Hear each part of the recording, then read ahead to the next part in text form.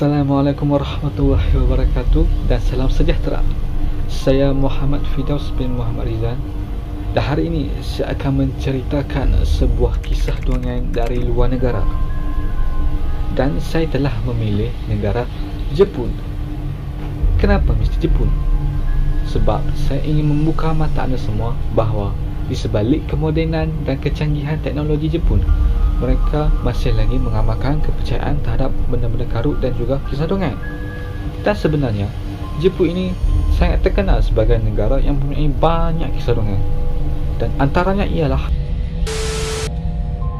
Kappa apa benda tu kappa? Kappa atau kawataro yang bermaksud anak sungai atau budak lelaki sungai dipercayai adalah sejenis makhluk yang tinggal di sekitaran air seperti sungai-sungai, tasik atau kolam di Jepun.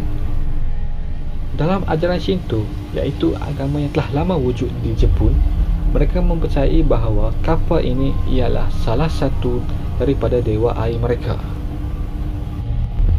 Apa rupa kapal ini sebenarnya?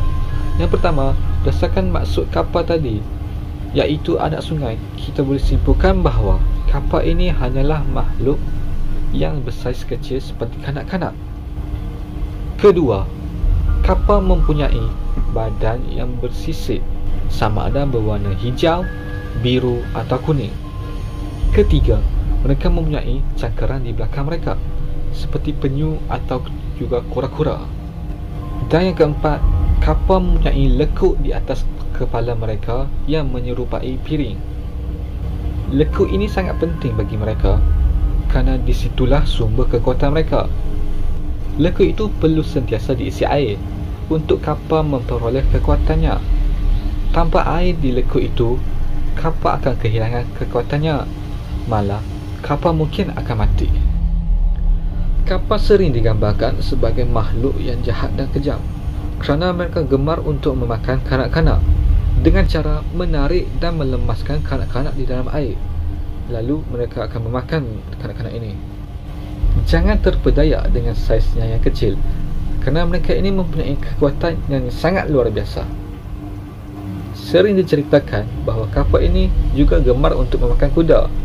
Jadi bayangkanlah mereka ini akan menarik kuda dan menenggelamkan kuda ini di dalam air yang mempunyai berat lebih kurang 4 atau 5 kali ganda daripada mereka. Selain itu, kapal juga suka untuk memperkosa wanita yang berada di sungai-sungai.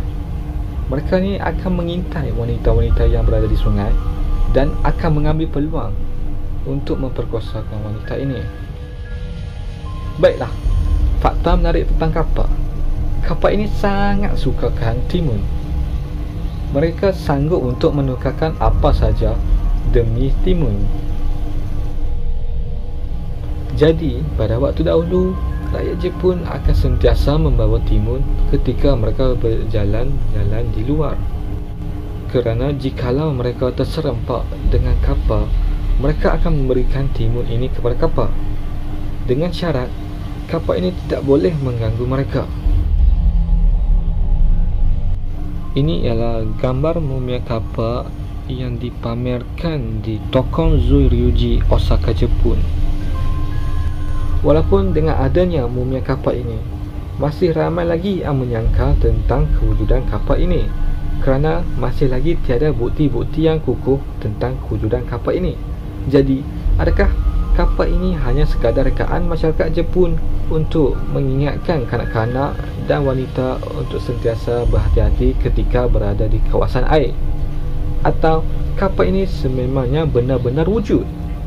Kebenarannya masih lagi misteri.